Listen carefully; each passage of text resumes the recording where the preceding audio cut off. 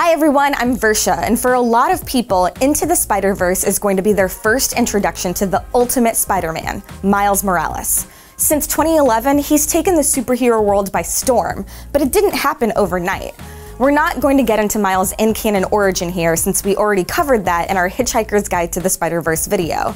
Instead, we're going to talk about how the decision to create a Spider-Man of color went down behind the scenes, and how Miles rose through the ranks to become one of comics' most important new characters. This is how Miles Morales hit it big.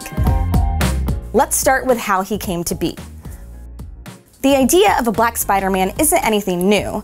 The character's full cover costume has always allowed fans to fantasize about what color his skin could be underneath, a concept that made it into James Cameron's unproduced 1991 Spider-Man screenplay. In some neighborhoods, he wrote, Spider-Man is a local legend, and everybody wants to claim him. Black kids think he's black, Hispanic kids think he's Hispanic, Italian kids, well, you get the idea. One year later, in 1992, Marvel rolled out their 2099 imprint, stories set in the distant future starring high-tech takes on our favorite characters, including the biracial Miguel O'Hara, a Spider-Man of Irish and Mexican descent. Miguel is a valued member of the Spider-Verse to this day, but he never quite broke into the mainstream the way that Miles has. Let's fast forward to 2008, a couple of months before the historic election of President Barack Obama. Marvel's Ultimate Universe, originally created as a more contemporary and accessible alternative to their main canon, had gotten convoluted and kinda stale. No, it's not true. Don't even ask. What's new with you? So they decided to shake things up with a catastrophic crossover event called Ultimatum. At a planning meeting, the editors and writers were inspired by Obama's candidacy.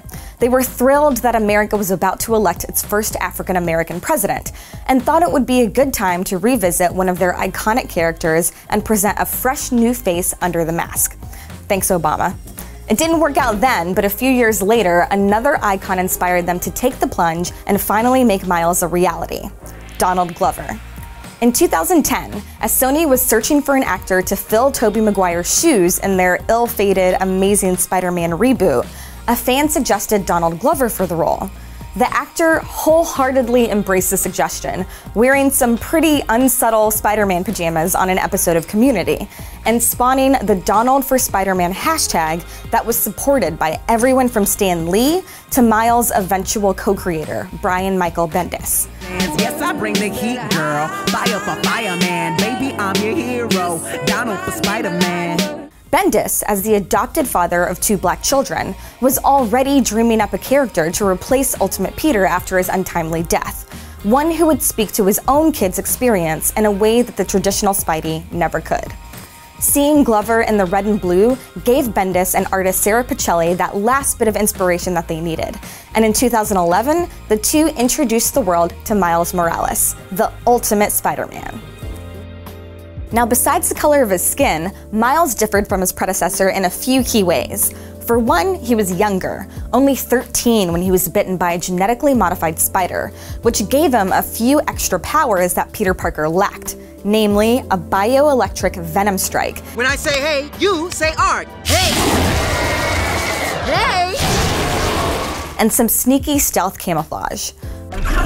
You just poked me in my eye. This is incredible. Some kind of fight or flight thing. Also, unlike Peter, Miles isn't an orphan, at least not at first. His father, Jefferson Davis, and his mother, Rio Morales, are both alive and well at the start of Miles' journey. As is his uncle Aaron, the super thief known as the Prowler, who forces Miles to consider whether crime runs in his family. Also, unlike the neurotic Peter Parker, Miles has friends, like Ganke Lee, the guy in the chair who clearly inspired Peter's pal Ned Leeds in Homecoming. What are you doing here? There's a dance. Uh.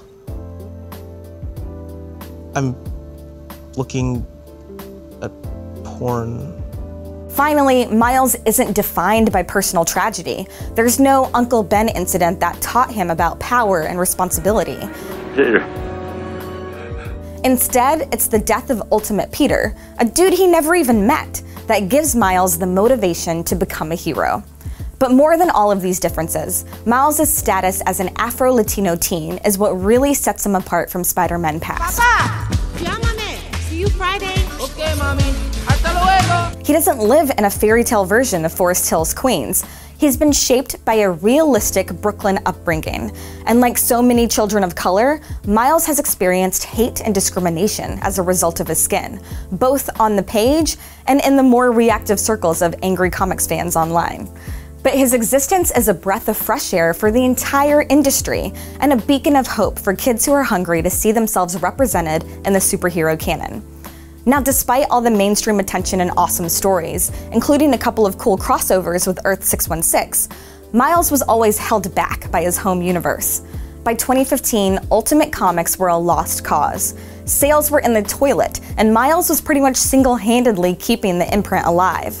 But even his heroic efforts weren't enough to save Earth 1610. The entire Ultimate line was cancelled, and the alternate dimension was destroyed in the calamity of Marvel's Secret Wars crossover. Luckily for Miles, he befriended the omnipotent Molecule Man, who transported him, his family, and his friends to the reconstructed main reality of Earth 616, where he currently operates as Spider Man alongside Peter Parker. Surviving the death of your entire universe should be enough to cement any superhero in the pop culture pantheon.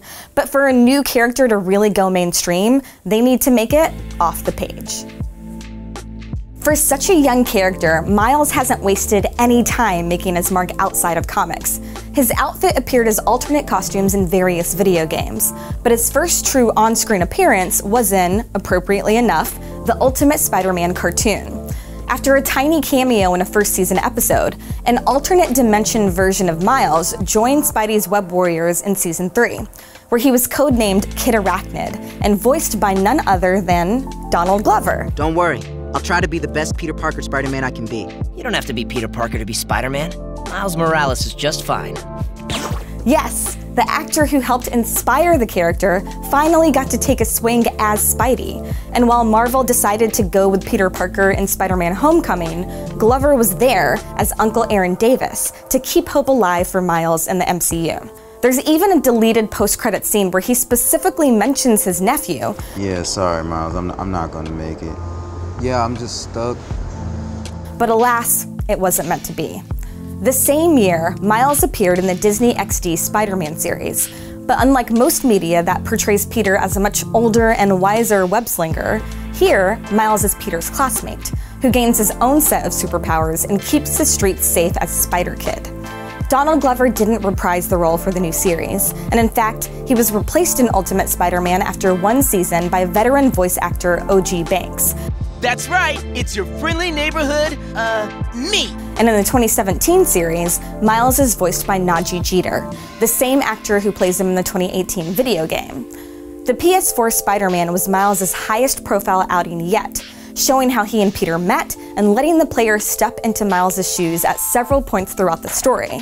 By the end, gamers were ready for Miles to star in the sequel. It's pretty weird, right? Not that weird. And after Into the Spider Verse drops, they're probably going to demand it. The gorgeously animated new film is shining a light on the lesser known Spider People and Spider Pig, but at the end of the day, it's still Miles' story. And through Dope and the Get Down actor Shameik Moore, the Ultimate Spider Man has come to life in a vibrant vision that's unlike any Spidey film before it, and could be bigger than all of them combined. Miles Morales means a lot of things to a lot of different people. He's a legacy superhero done right, one who lives up to the ideals set by his predecessor but who maintains his own identity. Miles! Yeah, yeah. He's also a forerunner of the new wave of increased representation in comics, letting fans from all walks of life finally feel seen and heard in the pages of their favorite books. But first and foremost, Miles is an amazing character, a spectacular Spider Man, and a hero we'll all be looking up to for decades to come.